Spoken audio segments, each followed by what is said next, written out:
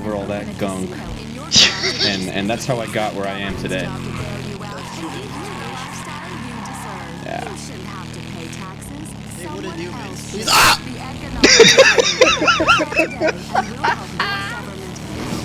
Every fucking time.